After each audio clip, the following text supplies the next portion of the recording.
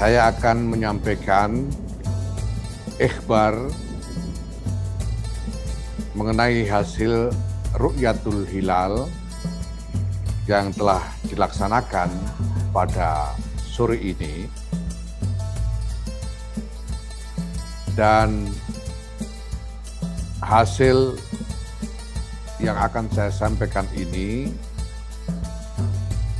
kita peroleh dengan metode yang berdasarkan norma-norma yang telah ditetapkan di dalam Muktamar ke-34 di Lampung yang baru lalu dan juga dengan memperhatikan kesepakatan di antara negara-negara ASEAN yaitu Brunei, Darussalam, Indonesia, Malaysia, dan Singapura. Berikut adalah ikhbar resmi dari pengurus besar Nahdlatul Ulama mengenai hasil Ru'yatul Hilal bil Fi'li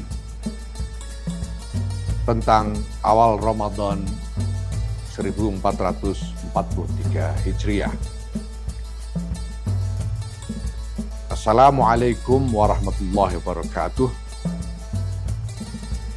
Dalam rangka penentuan awal Ramadan 1443 Hijriah, tim Rukyatul Hilal, pengurus besar Nahdlatul Ulama yang berada di bawah koordinasi Lembaga Falakiyah Pengurus Besar Nahdlatul Ulama pada hari Jumat tanggal 29 Syaban 1443 Hijriah atau 1 April 2022 Masehi telah melakukan Rukyatul Hilal bil Fi'li di beberapa lokasi yaitu 50 lokasi yang telah ditentukan di seluruh Indonesia dan berdasarkan laporan Lembaga Falakiyah Pengurus Besar Nahdlatul Ulama di seluruh lokasi tempat dilakukannya Ru'yatul Hilal bil Fi'li itu tidak berhasil terlihat hilal.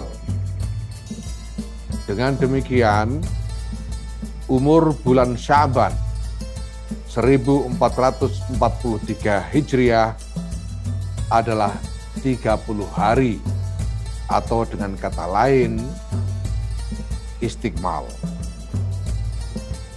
Atas dasar istiqmal tersebut dan sesuai dengan pendapat al-madhahib al-arba'ah, empat madhab. Dengan ini, pengurus besar Nahdlatul Ulama mengikhbar, mengikhbarkan atau memberitahukan bahwa awal bulan Ramadan 1443 Hijriah jatuh pada hari Ahad Wage tanggal 3 April 2022 Masehi. Demikian ikhbar pemberitahuan ini kami sampaikan. Atas perhatiannya disampaikan terima kasih. Wallahul muwaffiq ila aqwamit tariq. Wassalamualaikum warahmatullahi wabarakatuh.